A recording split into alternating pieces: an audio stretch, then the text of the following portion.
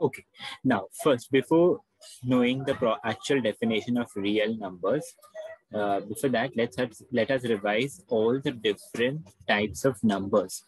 So under that, the first is natural numbers. So you know set of natural numbers starts from one. So one, two, three, four, and so on. This is set of natural numbers. Next, then we have the next type of numbers that is whole numbers. So whole numbers are the numbers that starts from zero. Okay, so 0, 1, 2, 3, 4 are set of whole numbers.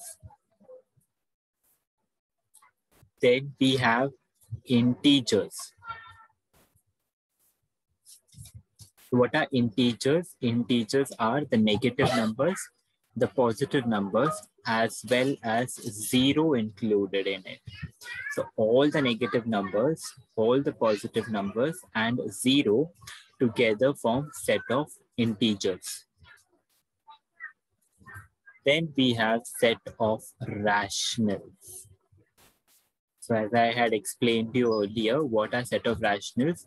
All those numbers which can be written in the form of P by Q and Q not equal to zero.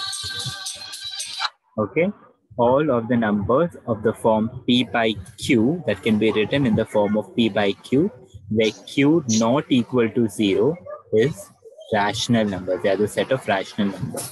Rational numbers are denoted by the letter q. Okay.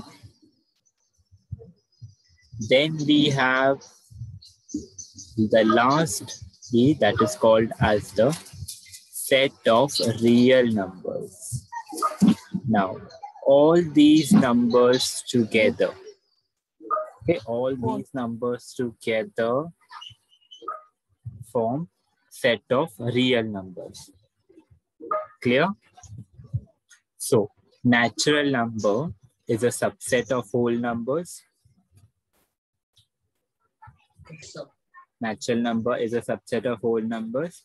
And if you see clearly, whole numbers is a subset of integers.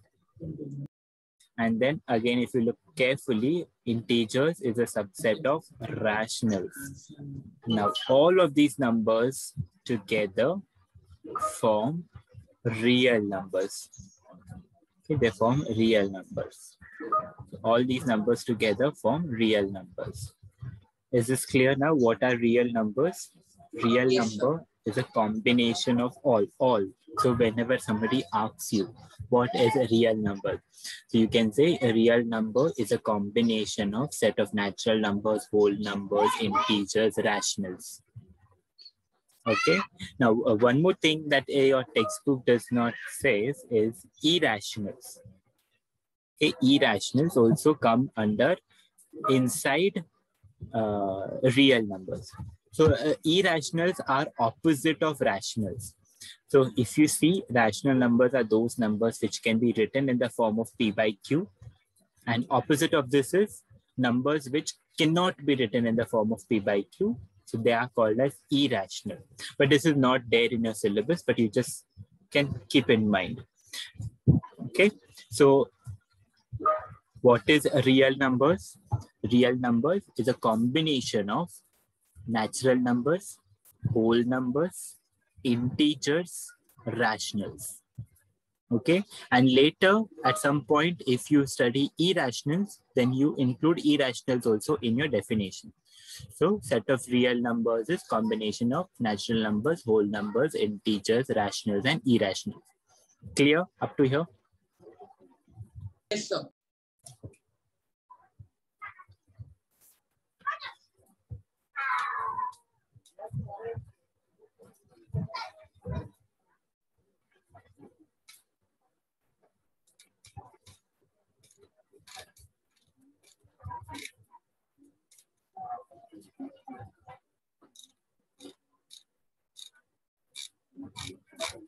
Okay, I'll explain this what is order relation.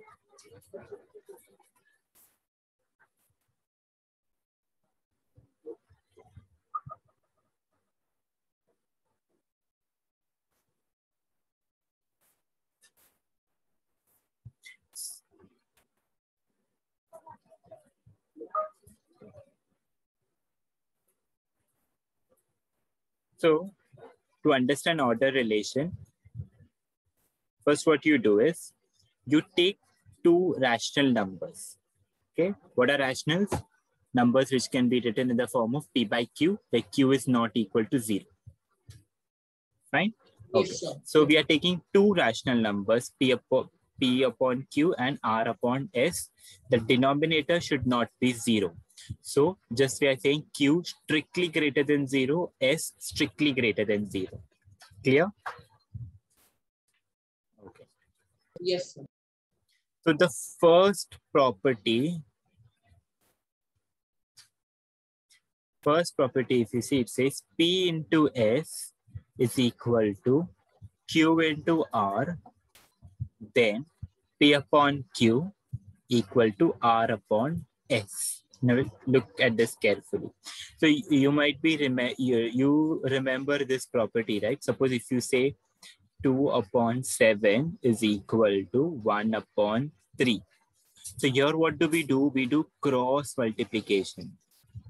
Yes, so 2 into 3 is equal to 1 into 7. So you do cross multiplication and you solve further. Now, how do you know that you have to do cross multiplication? That comes from this If- property. If the if the denominators are not the same. No, no. When you have equal to sign here and a fraction on both the sides. Yes. Now, so that is why you do cross multiplication. Now, the reason you do cross multiplication comes from this property. P into S is equal to Q into R. So that becomes P upon Q is equal to R upon S. So it is same like cross multiplying it. Do you understand this? Yes.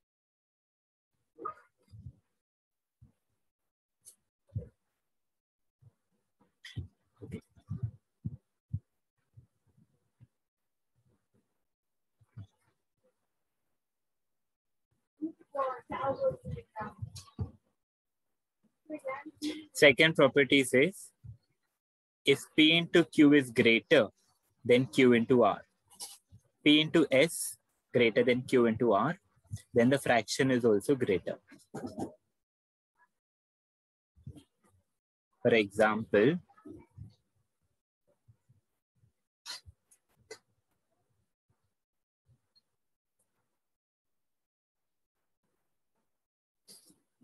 okay, if P is greater than Q, okay, if P is greater than Q and you multiply R on both the sides, okay, so you, oh wait, no, no, don't do it like this, not R.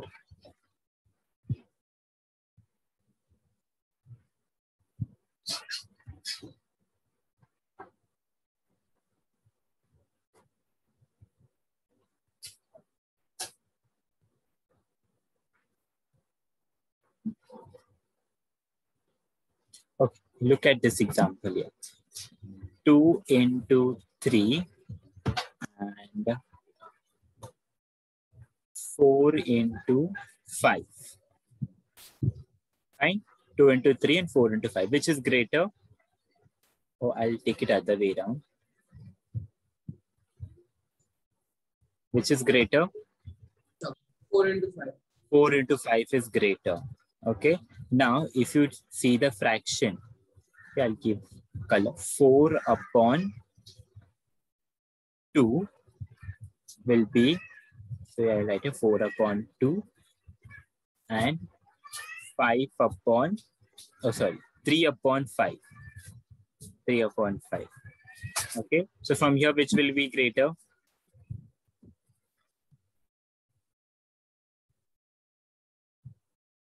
Three upon five.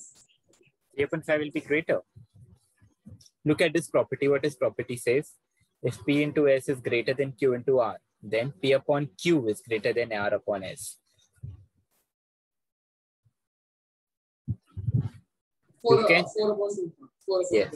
You can you can see why it is greater because 4 divided by 2 is 2 and 3 divided by 5 is 0 point something.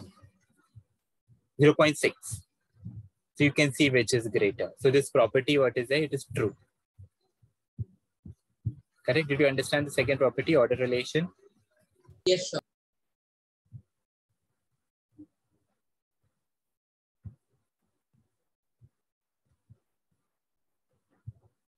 And the third one is the opposite of the second one.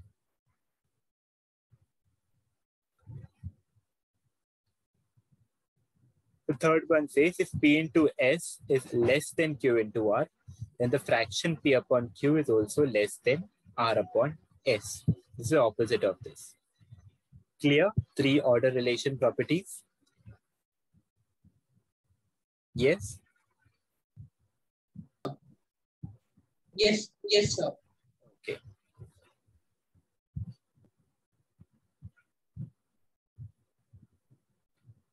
Okay, now these are very, very, very important properties that is called as properties of real numbers.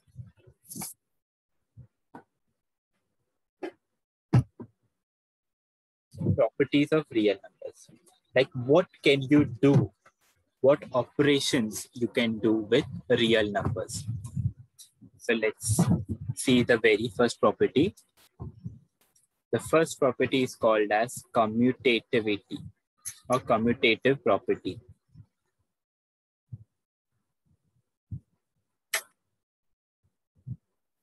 So commutative property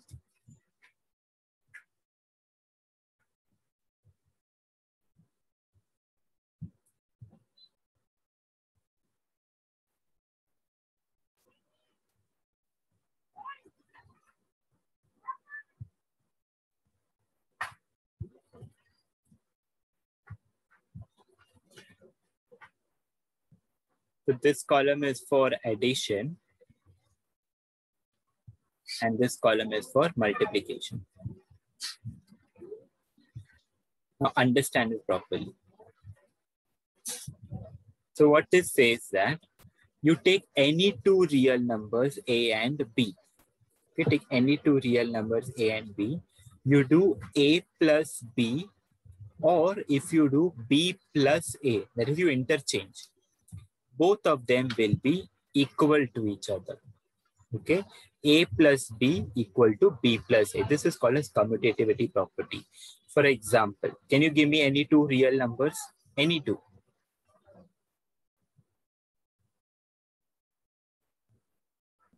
Three and three and six, sir. Okay, three and six. Now, if you do three plus six, how much is this?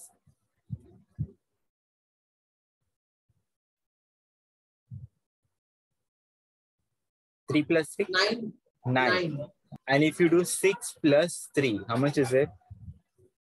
Nine. Nine. So if you see, you take any two real numbers, you add them like this, or you add them like this, both of them will be equal. So that is the first property. Is this clear? Yes, sir. Second property says, second is for the multiplication. Commutative, so you, you read it like this. Commutative property for addition, commutative property for multiplication. So multiplication says that if you take any two numbers, real numbers A and B, and you multiply them, A into B will be same as B into A. You can take your same example. If you take 3 into 6, how much is this? Eighteen. 18. And if you do 6 into 3, this is 18. also 18. So both of them are equal. So commutative addition and commutative in multiplication. Are these two properties clear? Yes, sir. Yes, sir.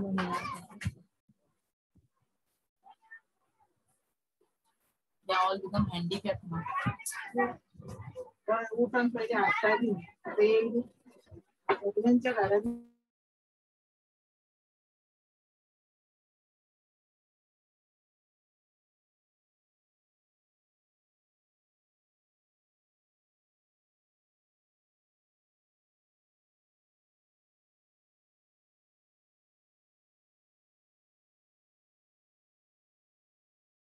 Second property is called associativity property. So you take three real numbers, any three real numbers, A, B, and C. So what associativity property says that if you add A plus B first, and then add C to it, this will be same as adding b plus c first and then adding a to it. Okay, so understand if you add a plus b first and then add c to it, that will be same as adding b plus c first and then a. Understand this with an example. We'll take 3, 7 and 5. Okay. So you add 3 plus 7 first and then you add 5 to it. So how much will this be? 7 plus 3 is 10. 15. Yes, and 10 plus 5, 15. This is same if you add 7 plus 5 first. So how much is 7 plus 5? 12. 12. And then, and then you add 3 to it, again 15. So both of them are same. So what associativity property says? A plus B whole uh, bracket plus C is same as A plus bracket B plus C. Is the associative property clear? What is associative property? Yes, sir. Now Yes. the same thing goes for multiplication. Same thing.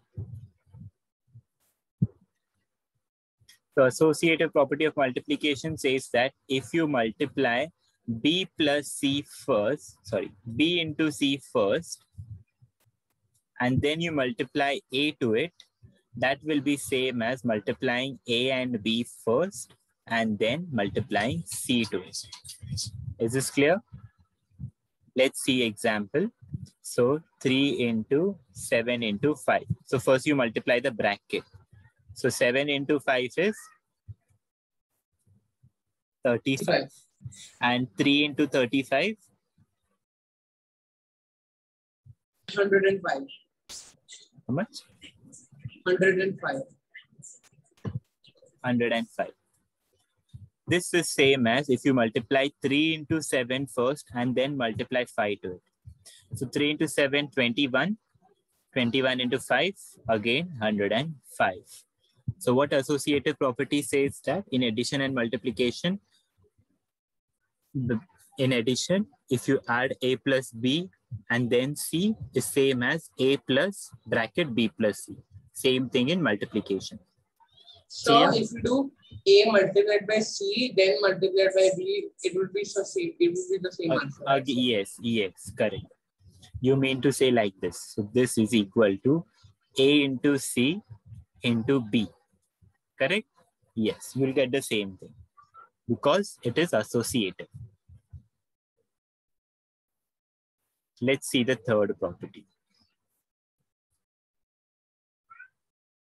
So you know the two properties.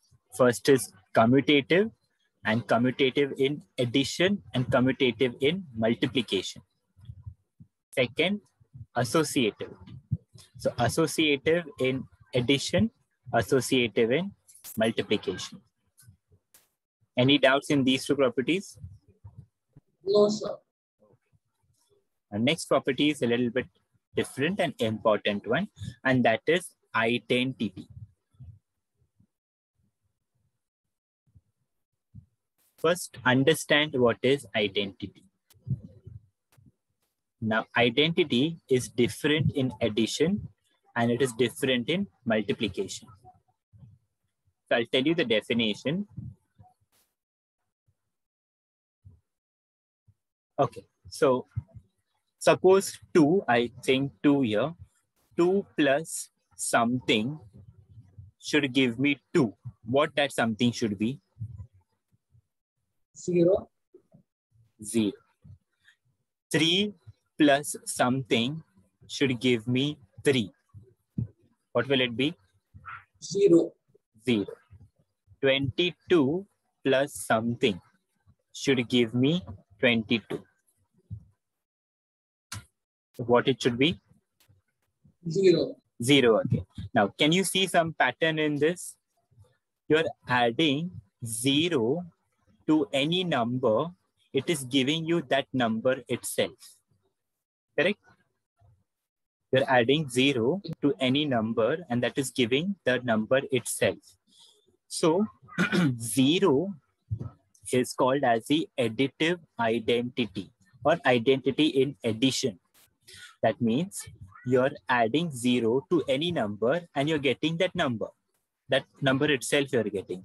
So it's like a reflection. So zero is the identity in ad addition. So what if this says that for any number, you add zero to it, you will get that number itself. So there is an I zero is called as the identity element in addition. Is this clear? So adding a number to zero, you get that number itself. That is the identity property. Fine. Yes, sir. Okay. So now in in uh, addition, zero is the identity. What about multiplication? What is a number you multiply with any number, you will get that number itself. For example, yes. So 2 multiplied by something should give you 2 itself, and that is 1.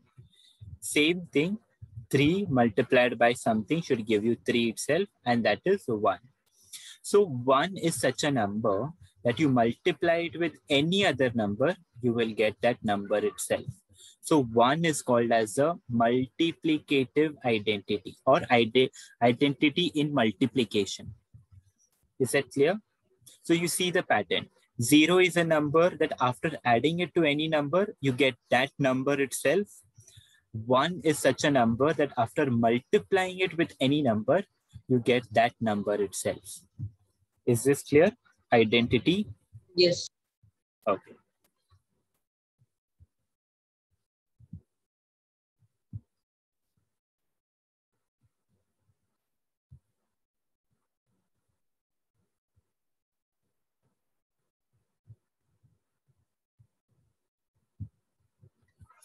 Now, the last property, and that is called as inverse.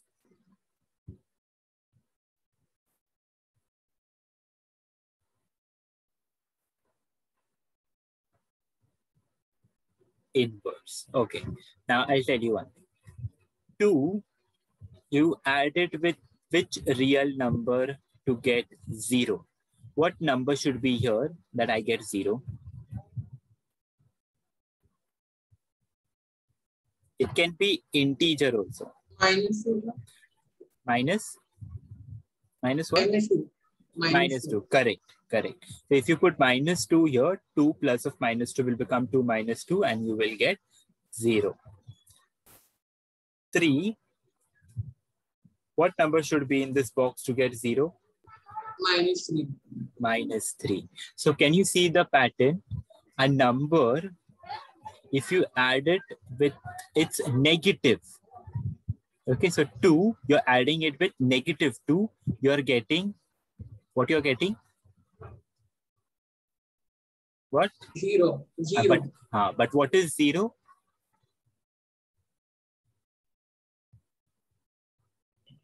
the identity, the Id- addition identity. yes correct zero is addition identity so you see you take any real number and you add it with its negative you are getting the addition identity so you say that minus 2 and 2 are inverse of each other okay or we say additive inverse or ad- inverse in addition. You can say it anything of those. So 2 and minus 2 are inverse of each. So you take any real number a, what will it be? Its additive inverse Minus A. minus a. So a plus of minus a will give you 0. So a and minus a in addition, they are inverse of each other. Is this clear? Inverse in addition? Okay. So now let's see multiplication. Okay. Let's take an example. 3 multiplied by something should give you 1. What to put in this box?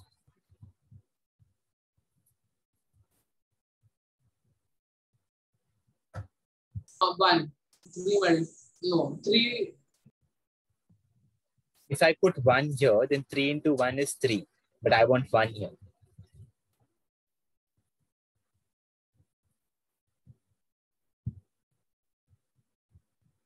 Has to be a real number. one upon three. Yes, 1 upon 3. 1 upon 3 is a real number. And 3 and 3 will get cancelled and you get 1. Similarly, 4 into what will give you 1? One upon four. 1 upon 4. So you see something. What is 1 upon 4? What is this 1 upon 3, 1 upon 4? If you see, it is the reciprocal of the number here. Do you know reciprocal? Reciprocal is you interchange numerator denominator. Yes, sir. Yes, sir. I will. So, so here, when I say just 3, what is in the numerator? three. 3. And in the denominator, nothing means One. 1. 1. So if you take the reciprocal, this becomes 1 upon 3. Correct? So here if you see, these are the reciprocal of the number here. And when you when you multiply both of them, what do you get? One. And 1 is the Multiplicative multiplicative inverse. identity. Identity. identity. One is a multiplicative identity. Okay. So since after multiplying these two numbers, you get multiplicative identity. So these two numbers are called as inverse of each other or multiplicative inverse. Okay. These two numbers are called as 3 and 1 upon 3, 4 and 1 upon 4 are called as a multiplicative inverse of each other. Is this clear? Yes, sir. So now I'll ask you one question.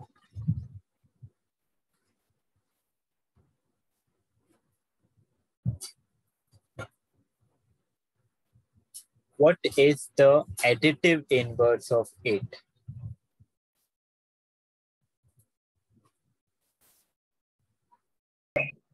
Hmm? Zero. Additive inverse. Minus minus eight. Minus. And what is the multiplicative inverse of 8? One upon eight. 1 upon correct. So minus 8 is the additive inverse, 1 upon 8 is the multiplicative inverse. So the reason 8 plus minus 8 will give you 0 and 0 is the additive identity. And for this, 8 into 1 upon 8 will give you 1 and that is a multiplicative identity. So is this clear?